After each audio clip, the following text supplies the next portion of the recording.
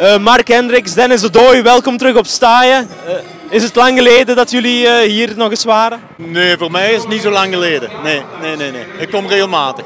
En voor jou Dennis? ik denk van mijn laatste wedstrijd met Lokeren hier. dus wel al even geleden, ja. Wat is jullie mooiste herinnering hier in jullie periode bij SCVV? Mooiste herinnering? kampioenschap zeker, hè? Ja. Ja, ja. Dennis, voor jou dezelfde vraag. Uh, goh, ja, play-off gespeeld denk ik met, met Sint-Truiden. Uh, en ook de zesde of zevende speeldag hier tegen Anderlecht toen dat we eerste stonden na zeven speeldagen. En net dat seizoen dat we Sint-Truiden was opgegaan. Dus ik denk die momenten. Ja, jullie hebben een geschiedenis bij beide clubs vanavond. Misschien een riskante vraag, maar hebben jullie een voorkeur voor een van beide clubs? Voor mij is dat heel eenvoudig uiteraard. Hè. Ik ben één jaar in Lokeren geweest. Ik ben Limburger, ik ben drie jaar in Sint-Truiden geweest. De vraag is evident, eh, het antwoord is evident. Dus, uh, Dennis? Uh, niet speciaal. Ik heb uh, twee jaar, twee jaar Sint-Truiden, drie jaar Lokeren.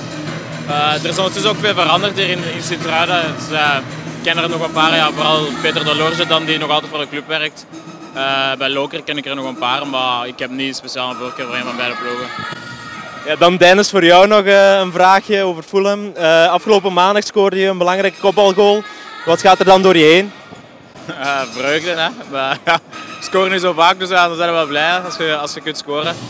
Uh, en zeker ook een belangrijke goal was. Uh, natuurlijk was het nog niet zeker dat we toen zouden winnen, maar uiteindelijk als dat de, de winning goal was om dan te kwalificeren voor de finale van volgende, volgende week, is dat wel plezant.